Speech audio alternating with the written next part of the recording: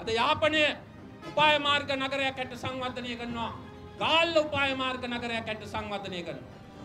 කොළඹ සංවර්ධනය කරනකොට තිරිකුණාමලේ සංවර්ධනය කරනවා.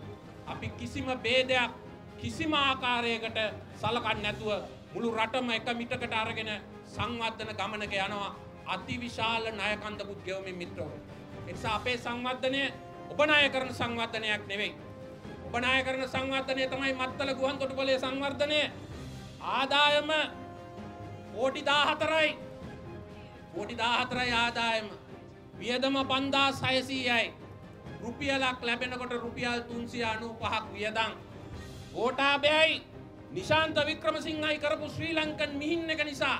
අද වෙනකොට අපි තමුන්නාන්සලා ඔක්කොම මේ දෙදස් දහටේ මාර්තු තිස්සකට රුපියල් දහදාහක් අපේ දරු මුණුදුරොත් එක්ක අපි ගෙවල තියෙනවා මේ පාඩුවට ශ්‍රී ලංකන්න එක මිහින්න එක. ඒගොල තමයි අද එලිය හදාගෙන එන්නේ අනාගත පාර කියන්න.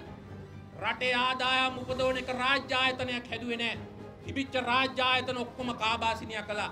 අපේ ආණ්ඩුවේ සංවර්ධනය මෙවැනි රාජ්‍යායතනවල පාඩුව කිරීමලින් හෝ මෙවැනි කාලකන්නි ඒවගේම ප්‍රතිඵලදායක නොවන සංවර්ධනයක් නෙවෙයි. ඔබට අපිට හැම දෙනාටම ප්‍රතිඵලදායක දෙකක්. එක නගර සභාව කළත් ඒ ආණ්ඩුව කළත් ඒකයි කියන එක මම මේ අවස්ථාව ධාරණය කරනවා.